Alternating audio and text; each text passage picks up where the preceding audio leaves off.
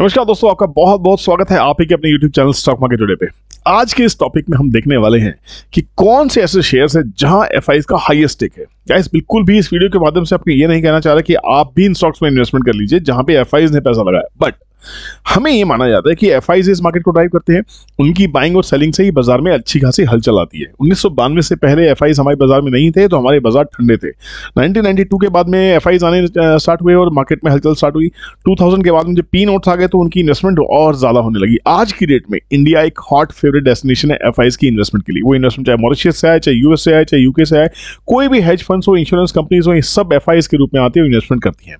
बाज़ार का रुख तय करने में इन एफ़ की बहुत ही बड़ी भूमिका होती है।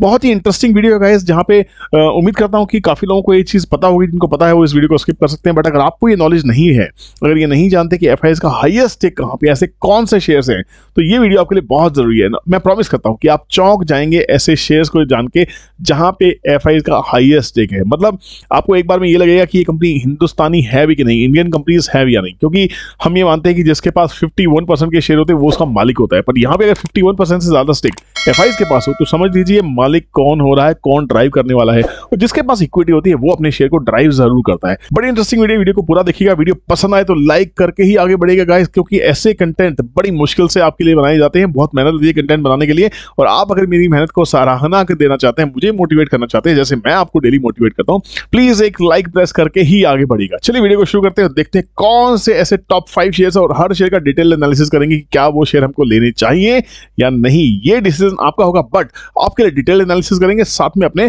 फेवरेट स्क्रीनर के साथ में। चलिए देखते हैं कौन कौन से शेयर्स हैं।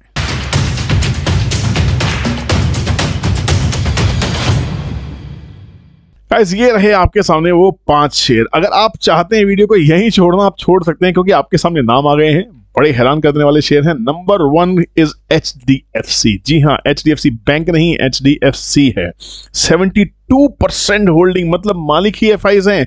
श्रीराम ट्रांसपोर्ट फाइनेंस दिग्गज company fifty three percent share हैं एफ़ के पास मतलब ये भी शायद एफ़ के हाथ में जा चुकी है।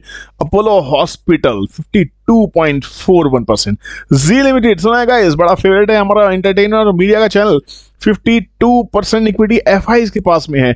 और आई आर बी इंफ्रास्ट्रक्चर ये पहले इक्विटी सिर्फ़ 13 परसेंट के आसपास हुआ करती थी। सितंबर क्वार्टर से दिसंबर क्वार्टर 2021 तक के चेंज में ये इतना बड़ा चेंज आया कि ये 13 परसेंट से बढ़ के 48 परसेंट हो गई क्योंकि मैंने आपको कहा था कि जो बजट है बजट पूरा का पूरा इंफ्रा स्पेसिफिक बजट है और हो क्यों ना?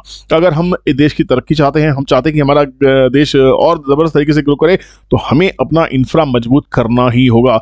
एल एन टी आई और बहुत सारे ऐसे नाम हैं जिसके ऊपर मैं पहले वीडियो आपको दे चुका हूँ। बजट पिक की वीडियो दे चुका हूँ, उस वीडियो को ज़रूर देख लीजिएगा। मेरे चैनल पे मौजूद है। चलिए देखते हैं डिटेल एनालिसिस करने की कोशिश करते हैं कि क्या ये डेटा सही है, इसकी ऑथेंटिसिटी चेक करने की कोशिश करते हैं। चलते हैं अपने फेवरेट स्क्रीनर के पास में स्क्रीनर डॉट आई एन में, जो बिल्कुल फेवरेट है सबका और फ्री में है गाइस ये रहा आपके स्क्रीनर सबसे पहले कौन सी कंपनी आती है? सबसे पहले हम लिखते हैं एच डी एफ़ सी देखिए, दो है H D F C bank है H D F C life insurance है H D F C asset management company है H D F C housing development finance corporation जी हाँ हम बात करें हाउसिंग डेवलपमेंट फाइनेंस कॉर्पोरेशन ये वो कंपनी है जो हाउसिंग के लिए फाइनेंस देती है। हिंदुस्तान में नए घर बनने हैं अफोर्डेबल हाउसिंग बननी है, और क्या क्या नहीं होना। पैसा कहाँ से आएगा? एचडीएफसी भी उसमें बहुत बड़ा रोल प्ले करता है क्या ज़बरदस्त कंपनी लार्ज कैप कंपनी चार लाख चार लाख छत्तीस हज़ार करोड़ की कंपनी है। शानदार ब्लू चिप कंपनी और करंट प्राइस है चौबीस सौ रुपए का। और इसकी अगर बुक वैल्यू देखने की कोशिश करें बुक वैल्यू ध्यान नहीं दी जा रही है, कोई बात नहीं ईपीएस है 119 का, महँगी कंपनीज़ के ईपीएस महँगे ही होंगे। इंडस्ट्री का पी जहाँ 26 का है, वहीं स्टॉक का पी 20 का है। तो मतलब शायद ये कंपनी अंडर वैल्यूड है, सस्ते भाव पे मिल रही है, आप ये समझ सकते हैं। पिछले डेट प्रोसीडिंग डेट को छोड़ दीजिए, क्योंकि जो फाइनेंस कंपनी होती है उन पर डेट होता ही है, क्योंकि वो किसी से पैसा लेते हैं, किसी को पैसा देते हैं, सस्ते में पैसा लेते हैं, महँगे में पैसा लैंड करते हैं। तो ये एक अच्छा पैरामीटर हमारा जानने का नहीं हुआ बट हाँ अगर आरओसी की बात करें तो नाइन की आरओसी मेंटेन है R O return on equity है thirteen point two percent which is fair दो रुपए की फेस वैल्यू है कंपनी स्प्लिट हो चुकी है। कंपनी क्या करती है, देख लीजिए। Housing development finance corporation is an Indian financial service company based in Mumbai Mumbai based company है। It is a major housing finance provider in India पूरे इंडिया में हाउसिंग फाइनेंस देती है। It has also presence in banking life and general insurance asset management venture capital reality education deposits education loan क्या क्या चाहिए आपको? चलिए देखते हैं कि क्या एक कंपनी वाकई एफआईएस के हाथ में जा चुकी है ये देखना बड़ा इंटरेस्टिंग होगा। और चलते हैं हमारे पैरामीटर इन्वेस्टर्स कॉलम पे। कौन कौन है इसके इन्वेस्टर्स और इन्वेस्टर्स क्या कर रहे हैं? देखिए यहाँ प्रमोटर कौन है? प्रमोटर एफ़ ही दिखाई देते हैं क्योंकि यहाँ पे एफ़ के पास में 72 परसेंट की इक्विटी हुआ करती थी। पहले भी जो गिर के सितंबर 2020 के आसपास आते थे 70 परसेंट रह गई थी बट उसके बाद से 71.95, 72.78, 72.22, 71.95 और फिर से 72.14 मतलब 72 परसेंट की जो इक्विटी है ये मेंटेन है होल्ड की हुई है एफ़ डोमेस्टिक इंस्टीट्यूशन के पास में 16 परसेंट के आसपास की इक्विटी है वो भी मेंटेन है कोई गिरी नहीं है। सरकार के पास भी थोड़ा सा स्टेक है पब्लिक के पास क्या? है पब्लिक के पास 11 परसेंट की इक्विटी कोई बेचना ही नहीं चाहता। जिस कंपनी को कोई बेचना नहीं चाहता, सोच लीजिए वो कंपनी कितनी दिग्गज कंपनी हो सकती है। अगली कंपनी के बारे में बढ़ते हैं, देखते हैं दूसरी ऐसी कौन सी कंपनी है और उसकी पूरी डिटेल एनालिसिस कर लेते हैं कि क्या वाकई भी वो कंपनी हमारी फेवरेट हो सकती है। चलिए दूसरी कंपनी देखते हैं, श्रीराम ट्रांसपोर्ट फाइनेंस जी हाँ श्रीराम ट्रांसपोर्ट फाइनेंस की अगर बात की जाए तो यहाँ पे एक कंपनी बहुत ही फेवरेट कंपनी है इन्वेस्टर्स की फेवरेट है। यहाँ पे इसके कुछ फाइनेंस चेक कर लेते हैं थर्टी फोर थाउज़ेंड करोड़ की कंपनी है, अच्छी खासी कंपनी है, बारह सौ सत्तर रुपये का इसका भाव अभी चल रहा है। दस परसेंट का आरओसी कंपनी जनरेट कर रही है। आर भी कंपनी बारह परसेंट के आसपास का जनरेट कर रही है। कंपनी का पी है पच्चीस का और कंपनी अभी अवेलेबल है फोर्टीन के पी पे। मतलब कंपनी शायद सस्ती आपको मिल रही है। फाइनेंस का काम है तो यहाँ भी डेट को हम इग्नोर कर सकते हैं। डेटर और क्रेडिटर्स का तो खेल पूरा पूरा होने वाला ही है। कंपनी बिल्कुल ट्रांसपोर्ट फाइनेंस पे काम करती है, इसको आप अच्छे से पढ़ लीजिएगा। और अपने आप की एक दिग्गज कंपनी है अपने सेगमेंट की। तो यहाँ पे अगर इन्वेस्टर्स के ऊपर जाके देखने की कोशिश करें तो कंपनी का आपको खेल पता लगेगा कंपनी क्या कर रही है। कंपनी के जो एफ़ हैं एफ़ आई फिफ्टी होल्ड करते हैं इस इक्विटी को। प्रमोटर के पास छब्बीस परसेंट इक्विटी है प्रमोटर ने थोड़ा सा स्टेक बढ़ाया है और एफ़ ने थोड़ा सा स्टेक घटाया है। बहुत नेग्लिजिबल है। डोमेस्टिक इंस्टीट्यूशन ने स्टेक बढ़ाया है और पब्लिक ने स्टेक घटाया है। तो बेसिकली ये स्ट्रॉन्ग हैंड से स्ट्रॉन्ग हैंड में ही कंपनी मूव कर रही है और ऑलमोस्ट इक्विटी स्टेगनेंट है। तो कंपनी बहुत ही शानदार है, दिग्गज कंपनी है। तो यहाँ पे ये कंपनी भी हॉट फेवरेट बन जाती है। तीसरी कंपनी है इसमें अपोलो हॉस्पिटल्स। देखते हैं अपोलो हॉस्पिटल्स का क्या खेल है। अपोलो हॉस्पिटल्स का जो मार्केट कैप है सिक्सटी फाइव थाउज़ेंड का मार्केट कैप है गाइस बहुत ही बड़ी कंपनी है चार हज़ार पाँच सौ पचास का आज का रेट है। और स्टॉक का पी देखे तो थोड़ा महँगा दिखाई देता है पी के हिसाब से।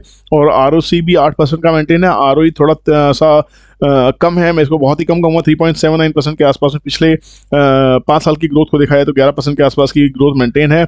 और कंपनी इंटेंसिक वैल्यू से बहुत हाई मिल रही है। देख लीजिए, जहाँ साढ़े नौ सौ रुपये का इंटेंसिक वैल्यू का भाव है कंपनी फाइव पेडअप है और फ्री कैश फ्लो दिखाए तो 2008 करोड़ का फ्री कैश फ्लो है। पिछले साल तीन हज़ार पाँच सौ छियानवे करोड़ के आसपास का डेट था। कैश इक्विलेंट है यहाँ पे eighty eight fifty seven crore के आसपास में और debt to equity point eighty है। चलेगा, कोई दिक्कत नहीं है और ये कंपनी बहुत ही दिग्गज कंपनी है। हॉस्पिटल चेंज है इसकी। यहाँ पे अगर देखने की कोशिश करें कि ये कंपनी के प्रमोटर्स का क्या खेल दिखाई देता है, किसके हाथों में इसकी बागडोर दिखाई देती है? तो बागडोर देखने की कोशिश कीजिए, बहुत ही इंटरेस्टिंग है। यहाँ पे चलते हैं इन्वेस्टर्स के पास में और अपनी कलम उठा लेते हैं। प्रमोटर्स को अगर देखने की कोशिश करें तो प्रमोटर के पास में 29 परसेंट के आसपास की इक्विटी है। थोड़ी सी इक्विटी प्रमोटर ने सेल ऑफ़ की है। बट एफ़ की अगर बात करें तो एफ़ ने अपनी इक्विटी को बढ़ाया है। प्रमोटर ने बेचा एफ़ ने बढ़ा fifty two point four three four one percent के आसपास में है। डोमेस्टिक इंस्टीट्यूशन के पास भी बारह परसेंट मेंटेन है और सरकार के पास भी थोड़ा सा का माल है। पब्लिक ने इसका माल बेचा है। पब्लिक से निकल रहा है और स्ट्रॉन्ग हैंड से स्ट्रॉन्ग हैंड में मूव कर रहा है। ऑलमोस्ट इक्विटी स्टेगनेंट है तो ये भी कंपनी ठीक दिखाई देती है। चौथी कंपनी कौन सी है? याद है? चलिए बताते हैं। चौथी कंपनी है हमारी आपकी favourite yes Zee limited Zee limited क्या करती है भाई? जी लिमिटेड तो एंटरटेनमेंट की दुनिया से है। आप सब जानते ही हैं इसको। और अच्छी खासी कंपनी है, पच्चीस हज़ार करोड़ की कंपनी है। और टू सिक्सटी थ्री रुपीज़ का इसमें प्राइस अभी चल रहा है। और R O C fourteen percent का है आर ओ एट परसेंट के आसपास का है। वन पेड अप शेयर है। और यहाँ पे अगर डेट देखा जाए तो डेट है कंपनी के ऊपर साढ़े तीन सौ करोड़ के आसपास का। और कैश इक्विलेंट कंपनी के पास पड़े ग्यारह सौ बीस करोड़ के। मतलब मोटा डेट फ्री कंपनी है। एकदम डेट फ्री तो डेट फ्री कंपनी के पास बहुत स्कोप होता है अपने आप को एनहेंस करने का एक्सपैंड करने का। यहाँ पे एंटरटेनमेंट से ये जुड़ी हुई कंपनी है, ये सब आप जानते ही हैं। इसमें ज़्यादा डिस्कस करने की ज़रूरत नहीं है और यहाँ पे इसके अगर हम इन्वेस्टर्स के ऊपर जाके देखने की कोशिश करें कि भाई किसके पास कितना माल पड़ा हुआ है, वो देखने वाली बात है। बहुत ही इंटरेस्टिंग है और यहाँ पे कुछ अलार्मिंग चीज़ें हैं, कुछ इंटरेस्टिंग चीज़ें हैं। प्रमोटर के पास जहाँ एक टाइम पे पिछले साल 2019 तक 38 परसेंट इक्विटी हुआ करती थी प्रमोटर अपनी सारी इक्विटी बेच चुका है। खाली चार परसेंट के आसपास इक्विटी प्रमोटर होल्ड करते हैं which is very alarming F के पास जहाँ 44 परसेंट की इक्विटी हुआ करती थी वो बढ़ के हो गई है 52 परसेंट के आसपास में। डीआईएस के पास में पंद्रह, सोलह परसेंट के आसपास माल होता था वो बढ़ के हो गया बीस परसेंट के आसपास में।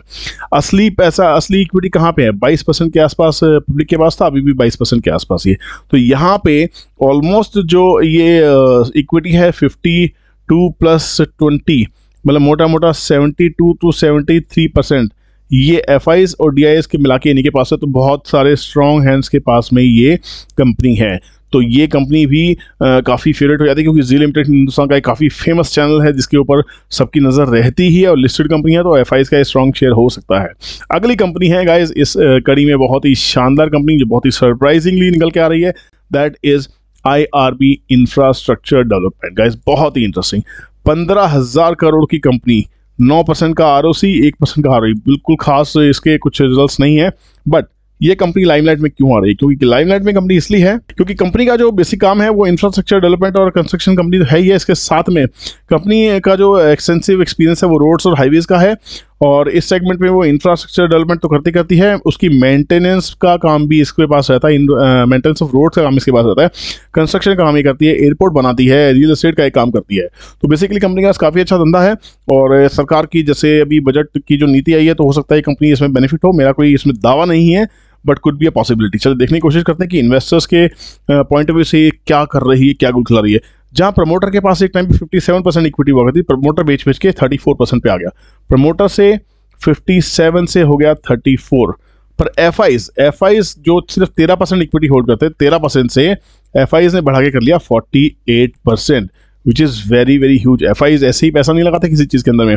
डी की बात करें तो डी ने अपना माल बेचा है। तो यहाँ पे जो इक्विटी है, वो स्ट्रॉन्ग हैंड से और स्ट्रॉन्ग हैंड में गई और स्ट्रॉन्ग हैंड बहुत ही एग्रेसिव दिखाई देते हैं। तो आने वाले पाँच से सात साल के अंदर मैं आपको बार बार कहता हूँ कि आने वाले पाँच से आठ साल रियल स्टेट और इंफ्रा के हो सकते हैं, पूरी पॉसिबिलिटी मुझे दिखाई देती है। जैसा मैं दिल्ली एनसीआर में रहता हूँ, मैं आसपास घूमता रहता हूँ तो जो कंस्ट्रक्शन जो डेवलपमेंट है मुझे अपने आसपास दिखाई देती है। जो हम बजट नीति को देखें सरकार की, जैसा वो ईस्ट में सड़कें बनाना चाहते हैं रेलवे नेटवर्क बिछाना चाहते हैं, बहुत सारी चीज़ें नहीं करना चाहते तो यहाँ पे आई एक अच्छा खासा रोल प्ले कर सकता है। यहाँ पे अच्छा खासा सेगमेंट इसको मिल सकता है। तो यहाँ पे धंधा करेंगे तो रेवेन्यू बैलेंस शीट में आना ही आना है।